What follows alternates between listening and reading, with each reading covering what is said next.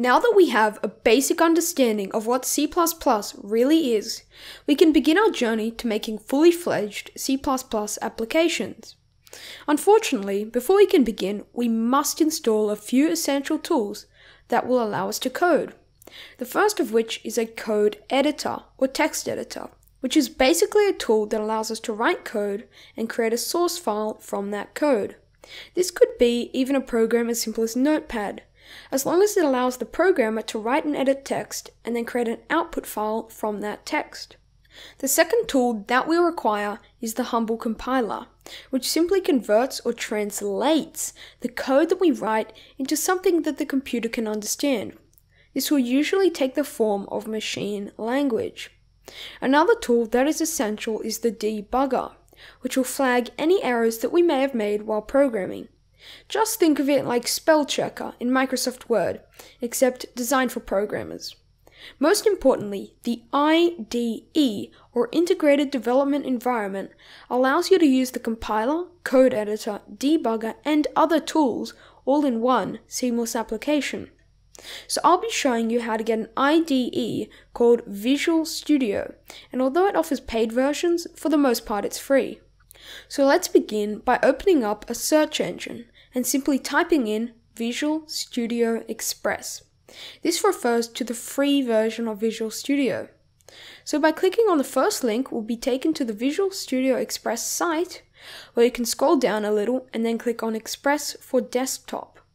This will allow us to create executable files. If we wanted to make web pages or even Windows Store apps, we would have to download a different version of Visual Studio.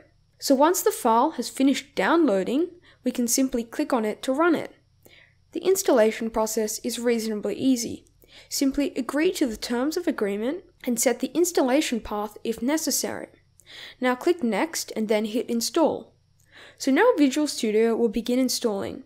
It's important to note that if the installer is taking more than half an hour or an hour, I would highly recommend restarting the installation.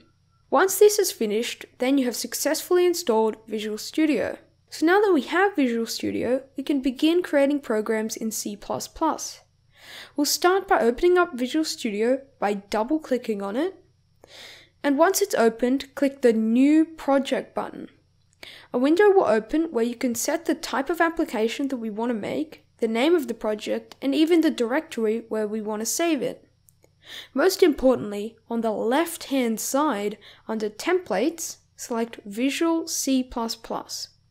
This will tell Visual Studio that we want to program in C++. Now you can name it whatever you want, but I'll name it Teaching for the purposes of this video. Now you can set the project type to empty project. This will create a completely blank project. Now that we've made the project, we need to make a C++ file. This is a file where our code will be saved. So to create this file, right click on the source files and then select add new item. Now we have the option to name our file and select the type of file.